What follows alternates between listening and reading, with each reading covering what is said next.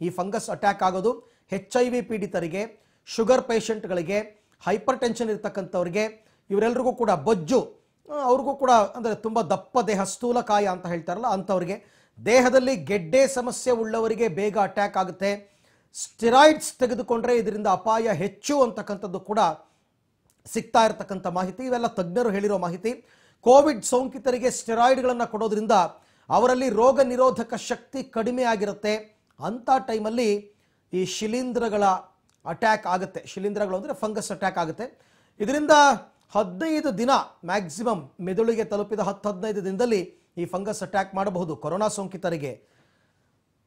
ಈ ಬಗ್ಗೆ ಮತ್ತಷ್ಟು ಮಾಹಿತಿಯನ್ನು ಪಡೆಯೋಣ ನನ್ನ ಕೊಲೀಗ್ ಲೋಕೇಶ್ ಅವರಿಂದ. ಲೋಕೇಶ್, ಇವಾಗ ಸದ್ಯಕ್ಕೆ ಈ ನ್ಯೂಕಾರ್ ಮೈಕೋಸಿಸ್ ಫಂಗಸ್ ಕೇಸ್ಗಳು ಬೆಂಗಳೂರಿನಲ್ಲಿ ಎಲ್ಲೆಲ್ಲಿ ಯಾವ್ಯಾವ ಹಾಸ್ಪಿಟಲ್ಗಳಲ್ಲಿ ರೆಕಾರ್ಡ್ ಆಗಿದೆ? ಸದ್ಯಕ್ಕೆ ಬೆಂಗಳೂರಿನಲ್ಲಿ ಇದರ ಸ್ಥಿತಿಗತಿ ಏನು? ಅರವಿಂದ್, ಬೆಂಗಳೂರಿನಲ್ಲಿ ಈ ರೀತಿಯಾದಂತಹ ವರದಿ ಇನ್ನೂ ಆಗಿಲ್ಲ. ಕೋವಿಡ್ ಬಂದಾದ ನಂತರ ಬ್ಲಾಕ್ ಫಂಗಲ್ ಏನಾದ್ರು ಕೋವಿಡ್ನಿಂದ ಗುಣಮುಖರ ಅಂತ ರೋಗಿಗಳೇನಾದ್ರೂ ಪತ್ತೆ ಆಗಿದೆ ಅನ್ನುವಂಥದ್ದು ಬೆಂಗಳೂರಿನಲ್ಲಿ ಇದುವರೆಗೂ ವರದಿ ಆಗಿಲ್ಲ. ಆದ್ರೆ ಬೇರೆ ಬೇರೆ ರಾಜ್ಯಗಳಲ್ಲಿ ದೆಹಲಿ, ಅಹಮದಾಬಾದ್, ಗುಜರಾತ್ ಸೇರಿದಂತೆ ಅಲ್ಲೆಲ್ಲ ಕೂಡ ಅರವತ್ಮೂರಕ್ಕೂ ಹೆಚ್ಚು ಕೇಸ್ಗಳು ದಾಖಲಾಗಿರ್ತಕ್ಕಂಥದ್ದು. ಹದಿಮೂರು ಜನ ಸಾವನ್ನ ಕೂಡ ಅಪ್ಪಿರ್ದ, ಅಪ್ಪಿದ್ದಾರೆ ಅನ್ನುವಂಥದ್ದು. ಅಂದ್ರೆ, ಈ ಒಂದು ಕೇಸ್ಗಳು ಕೋವಿಡ್ನಿಂದ ಈ ಕಡೆಗೆ ಡಯಾಬಿಟಿಸ್ನಿಂದ ಬಳಲ್ತಾ ಇದ್ದಂತವ್ರಿಗೆ ಕಾಣಿಸ್ಕೊಂಡಿತ್ತು ಎನ್ನುವಂತ ಮಾಹಿತಿ ಈಗ ಸಿಕ್ಕಿದೆ. ಅದು ಕೂಡ ಈಗ ಅದು ಜಾಸ್ತಿ ಆಗುತ್ತೆ ಅನ್ನೋದಕ್ಕೆ ಕಾರಣ ಕೋವಿಡ್ನಿಂದ ಗುಣಪಟ್ಟವರು ಅವರಲ್ಲಿ ರೋಗ ನಿರೋಧಕ ಶಕ್ತಿ ಕಡಿಮೆ ಇರುತ್ತೆ. ಕಡಿಮೆ ಇದ್ದಂತ ಸಂದರ್ಭದಲ್ಲಿ ಈ ಒಂದು ಬ್ಲಾಕ್ ಫಂಗಲ್ ಅಂತ ಏನ್ ಕರಿತೀವಿ, ಆ ಬ್ಲಾಕ್ ಫಂಗಲ್ ಅಟ್ಯಾಕ್ ಆದ್ರೆ, ಆ ಸಾವು ಜಾಸ್ತಿ ಆಗುವಂತ ಸಾಧ್ಯತೆಗಳು ಹೆಚ್ಚಿದೆ ಎನ್ನುವಂತ ಮಾಹಿತಿ ಈಗ ಕೊಡ್ತಾ ಹೋಗ್ತಾ ಇದ್ರೆ ಅದು ಯಾವ ರೀತಿ ಕಾಣಿಸ್ಕೊಳ್ಳುತ್ತೆ ಅಂತಂದ್ರೆ ಕಣ್ಣಲ್ಲಿ ಊತ ಬರುತ್ತೆ ಜೊತೆ ಮೂಗಲ್ಲಿ ಸೀನದಾಗ ಅದು ಬ್ಲಾಕ್ ಕಲರ್ ಬರುತ್ತೆ. ಬ್ಲಾಕ್ ಕಲರ್ ಬಂದ ತಕ್ಷಣನೇ ಡಾಕ್ಟರ್ಗೆ ತೋರಿಸ್ಕೊಳ್ಬೇಕಾಗತ್ತೆ. ಒಂದು ವೇಳೆ ನಾವೇನಾದ್ರೂ ನೆಗ್ಲೆಕ್ಟ್ ಮಾಡಿದ್ರೆ ಅದು ಹಂಗೆ ಎಪ್ಪುಗಟ್ಟಿ ಗಟ್ಟಿ ಅತಿ ಬೇಗನೆ ಸಾವು ಬರುವಂತ ಚಾನ್ಸಸ್ ಜಾಸ್ತಿ ಇದೆ ಎನ್ನುವಂಥದ್ದು. ಇದು ಜಾಸ್ತಿ ಕಾಣಿಸ್ಕೊಳ್ತಾ ಇರ್ತಕ್ಕಂಥದ್ದು ಅರವತ್ಮೂರು ವರ್ಷ ಅಂದ್ರೆ ಜಾಸ್ತಿ ಅರವತ್ತು ವರ್ಷಕ್ಕೂ ಮೇಲ್ಪಟ್ಟವರಲ್ಲಿ ಏನು ಡಯಾಬಿಟಿಸ್ ಇರುತ್ತೆ ಅಂತವರಲ್ಲಿ ಕಾಣಿಸ್ಕೊಳ್ಳುತ್ತೆ ಮತ್ತೆ ಎಚ್ ಐ ವಿ ಪೇಷಂಟ್ಗಳಲ್ಲಿ ಕಾಣಿಸ್ಕೊಳ್ಳುತ್ತೆ ರೋಗ ನಿರೋಧಕ ಶಕ್ತಿ ಇರ್ತಕ್ಕಂತ ರೋಗ ನಿರೋಧಕ ಶಕ್ತಿ ಕಡಿಮೆ ಇರ್ತಕ್ಕಂಥ ರೋಗಿಗಳಲ್ಲಿ ಕಾಣಿಸ್ಕೊಳ್ಳುತ್ತೆ ಅನ್ನುವಂಥದ್ದು ಹಾಗಾಗಿ ಅತಿ ಬೇಗನೆ ನೋಡ್ಕೊಳ್ಬೇಕು. ಇಲ್ಲ ಅಂತಂದ್ರೆ ಒಂದ್ ರೀತಿಯ ಅಪಾಯ ಅಂತಾನೆ ಹೇಳ್ತಾ ಇದ್ದಾರೆ ಅರವಿಂದ್. ಲೋಕೇಶ್, ಕೇವಲ ಕೊರೋನಾ ಬಂದವರಿಗೆ ಬಂದು ಗುಣಮುಖರಾದವರಿಗೆ ಮಾತ್ರ ಇದು ಅಟ್ಯಾಕ್ ಆಗುತ್ತಾ ಈ ಫಂಗಸ್ ಅಥವಾ ನಾರ್ಮಲ್ ಇರ್ತಕ್ಕಂಥವ್ರು, ಅಂದ್ರೆ ಕೊರೋನಾ ಬರದೇ ಇರತಕ್ಕಂಥ ವ್ಯಕ್ತಿಗಳಿಗೂ ಅಟ್ಯಾಕ್ ಆಗೋ ಸಾಧ್ಯತೆ ಇದೆಯಾ?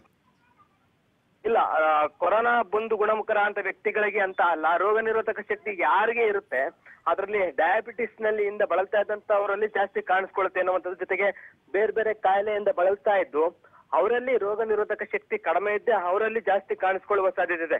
ಬರೀ ಕೊರೋನಾದಿಂದ ಅಟ್ಯಾಕ್ ಆದವರಿಗೆ ಅಂತಲ್ಲ, ಕೊರೋನಾದಿಂದ ಅಟ್ಯಾಕ್ ಆಗಿ ಗುಣಮುಖರಾದವರು ಅಂತಂದ್ರೆ, ಅವರಲ್ಲಿ ಈ ಒಂದು ಟ್ರೀಟ್ಮೆಂಟ್ ಕೊಡ್ತಾ ಇರ್ತಾರೆ. ಅದು ಒಂದ್ ರೀತಿಯ ವೈರಸ್ ವ್ಯತ್ಯಾಸ ಆಗ್ಬಿಟ್ಟು ಈ ಒಂದು ಫಂಗಲ್ ಇನ್ಫೆಕ್ಷನ್ ಆಗುವಂತ ಸಾಧ್ಯತೆ ಹೆಚ್ಚಿರುತ್ತೆ ಅನ್ನುವಂಥದ್ದು ಅದರಲ್ಲೂ ಕೂಡ ಇದು ಬರೀ ಕಣ್ಣು ಮತ್ತೆ ಮೂಗಿಗೆ ಅಲ್ಲ ಶ್ವಾಸಕೋಶಕ್ಕೂ ಹೋಗುತ್ತೆ ಅನ್ನುವಂತ ಮಾಹಿತಿ ಈಗ ಸಿಕ್ಕಿದೆ. ಅದು ಶ್ವಾಸಕೋಶಕ್ಕೆ ಹೋಗಿ ಹತ್ತು ದಿನಗಳಲ್ಲಿ ಆ, ಸಾವನ್ನಪ್ಪುವ ಚಾನ್ಸಸ್ ಜಾಸ್ತಿ ಇದೆ okay okay Lokesh thank you. ತಮ್ಮ ಎಲ್ಲ ಮಾಹಿತಿಗಾಗಿ ಇದ್ರ ಬಗ್ಗೆ ಮಾತನಾಡೋದಕ್ಕೆ ಖ್ಯಾತ ವೈದ್ಯರಾಗಿರ್ತಕ್ಕಂಥ ಜಗದೀಶ್ ಹಿರೇಮಠ ಅವರು ನಮ್ಮ ಜೊತೆ ಸಂಪರ್ಕದಲ್ಲಿದ್ದಾರೆ. ಡಾಕ್ಟರ್ ನಮಸ್ತೆ. ನಮಸ್ಕಾರ. ಸರ್ ಇದು ಈ ನ್ಯೂಕಾರ್ ಮೈಕೋಸಿಸ್ ಫಂಗಸ್ ಅಂತ ಈಗ ಸ್ವಲ್ಪ ಸುದ್ದಿ ಆಗ್ತಾ ಇದೆ. ಸರ್ ಇದ್ರ ಬಗ್ಗೆ ಸ್ವಲ್ಪ ಮಾಹಿತಿ ಕೊಡಬಹುದಾ ಮ್ಯೂಕರ್ ಮೈಕೋಸಿಸ್ ಇದೇನು ಹೊಸ ಫಂಗಸ್ ಏನಲ್ಲ? ಓಕೆ. ಫಂಗಲ್ ಇನ್ಫೆಕ್ಷನ್ ಇದು ಮಾಡ್ತಾ ಇತ್ತು ಮುಂಚೆಯಿಂದನು. ಆದ್ರೆ ಇದು ಹೆಚ್ಚಾಗಿ ರೋಗ ನಿರೋಧಕ ಶಕ್ತಿ ಕಳ್ ಕಳ್ಕೊಂಡಂತ ರೋಗಿಗಳಲ್ಲಿ ಮಾತ್ರ ಹೆಚ್ಚಾಗಿ ಕಂಡು ಬರ್ತಾ ಇತ್ತು.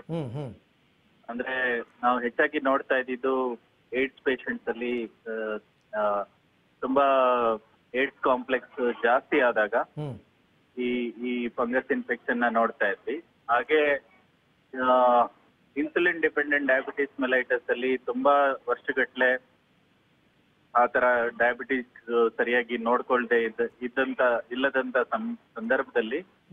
ಈ ತರ ರೋಗ ನಿರೋಧಕ ಶಕ್ತಿ ಕಳ್ಕೊಂಡಂತ ಪೇಷಂಟ್ಸ್ ಅಲ್ಲಿ ಕಂಡು ಬರ್ತಾ ಇತ್ತು ಹ್ಮ್ ಈಗ ಕೋವಿಡ್ ಪೇಷಂಟ್ಸ್ ಅಲ್ಲಿ ಕೋವಿಡ್ ಟ್ರೀಟ್ಮೆಂಟ್ ನಂತರ ಕಂಡು ಬರ್ತಾ ಇದೆ ಕೆಲವು ಪೇಷಂಟ್ಸ್ ಅಲ್ಲಿ.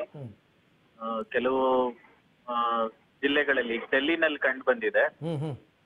ಮತ್ತೆ ಅಹಮದಾಬಾದ್ ಅಲ್ಲಿ ಆ, ಕಾಣಿಸ್ಕೊಂಡಿದೆ ಪೇಷಂಟ್ ಡಯಾಬಿಟಿಕ್ ಪೇಷಂಟ್ಸ್ ಕೋವಿಡ್ ಅಲ್ಲಿ ಟ್ರೀಟ್ಮೆಂಟ್ ತಗೊಂಡು ಉತ್ತಮ ಉತ್ತಮ ಆಗಿ ಮನೆಗೆ ಹೋದ್ಮೇಲೆ ಸಹ ಈ ಇನ್ಫೆಕ್ಷನ್ ಕಂಡು ಬಂದು ಕೆಲವರಲ್ಲಿ ಕುರುಡುತನ ಕಂಡು ಬಂದಿದೆ. ಕೆಲವು ಮೈಕೋಸಿಸ್ ಮ್ಯೂಕಾರ್ಮೈಕೋಸಿಸ್ ಜಾಸ್ತಿ ಆಗಿ ಶ್ವಾಸಕೋಶಕ್ಕೆಲ್ಲ ಇನ್ಫೆಕ್ಷನ್ ಆಗಿ ಸಾವಿಗೀಡಾಗಿದ್ದಾರೆ. ಇದು ಇತ್ತೀಚೆಗೆ ಕಂಡುಬಂದಂತ ಬಂದಂತ ಆ, ಸುದ್ದಿಗಳು. ಒಂದ್ ವೇಳೆ ಏನಾದ್ರೂ ಇದ್ರ ಬಗ್ಗೆ ಮೊದಲೇ ಗೊತ್ತಾದ್ರೆ ಅಡ್ವಾನ್ಸ್ಡ್ ಆಗಿ ಗೊತ್ತಾದ್ರೆ ಟ್ರೀಟ್ಮೆಂಟ್ ಇದೆಯಾ ಡಾಕ್ಟರ್ ಇದಕ್ಕೆ? ಟ್ರೀಟ್ಮೆಂಟ್ ಇದೆ ಟ್ರೀಟ್ಮೆಂಟ್ ಇದೆ. Actually if we get the patient early ಬೇಗ ನಮ್ಮಲ್ಲಿಗೆ ಬಂದ್ರೆ ಇದಕ್ಕೆ ಫಂಗಲ್ ಇನ್ಫೆಕ್ಷನ್ಸ್ಗೆ ಟ್ರೀಟ್ಮೆಂಟ್ ಇದೆ. ಆದ್ರೂ ಫಂಗಲ್ ಇನ್ಫೆಕ್ಷನ್ ಒಂದು ಸಲ ಅದು ಬಾಡಿನಲ್ಲಿ ಎಸ್ಟಾಬ್ಲಿಷ್ ಆಗ್ಬಿಟ್ರೆ ಅದನ್ನ ಟ್ರೀಟ್ಮೆಂಟ್ ಮಾಡೋದು ತುಂಬಾ ಕಷ್ಟ. ಅದಕ್ಕೋಸ್ಕರ ಪೇಷಂಟ್ಸ್ ಎಷ್ಟು ಬೇಗ ಬರ್ತಾರೆ ಎಷ್ಟು ಬೇಗ ಡಯಾಗ್ನೋಸಿಸ್ ಆಗುತ್ತೆ ಅದ್ರ ಮೇಲೆ ಪೇಷಂಟ್ ಉತ್ತಮ ಆಗೋ ಎಲ್ಲ ಲಕ್ಷಣಗಳು ಇರುತ್ತೆ. ಲೇಟ್ ಆಗಿ ಬಂದಷ್ಟು ಅವರು ಬೇಗ ಚಾನ್ಸಸ್ ಇರುತ್ತೆ. Okay doctor Jagdish thank you public TV ಜೊತೆ ಮಾತನಾಡಿದ್ದಕ್ಕೆ ಧನ್ಯವಾದ. So mucor fungus my mycosis fungus ಅಂತಕ್ಕಂಥದ್ದು ಹೊಸದೇನೂ ಅಲ್ಲ. ಅದು ಮೊದಲಿಂದನೂ ಇದೆ. ಬಟ್ ಯಾರಲ್ಲಿ ರೋಗ ನಿರೋಧಕ ಶಕ್ತಿ ಕಡಿಮೆ ಇದೆ ಅಂಥವ್ರಲ್ಲಿ ಕಾಣಿಸ್ಕೊಳ್ತಾ ಇದೆ ಎಸ್ಪೆಷಲಿ ಒಂದು ಏಡ್ಸ್ ಪೇಷಂಟ್ಗಳಿಗೆ, ಎಚ್ ಐ ವಿ ಪೇಷಂಟ್ಗಳಿಗೆ ಜಾಸ್ತಿ ಕಾಣಿಸ್ಕೊಳ್ತಾ ಇರುತ್ತೆ.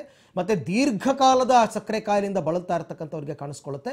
ಇತ್ತೀಚೆಗೆ ಕಾಣಿಸ್ಕೊಳ್ತಾ ಇರತಕ್ಕಂಥದ್ದು, ಕೊರೋನಾ ಬಂದು ಗುಣಮುಖರಾದವರಲ್ಲಿ ಈಗ ಕಾಣಿಸ್ಕೊಳ್ತಾ ಇದೆ ಅಂತಕ್ಕಂಥದ್ದು. ಬೆಂಗಳೂರಿನಲ್ಲೂ ಇದ್ರ ಬಗ್ಗೆ ಕೇಸಸ್ ಇದೆ ಅಂತಾರೆ.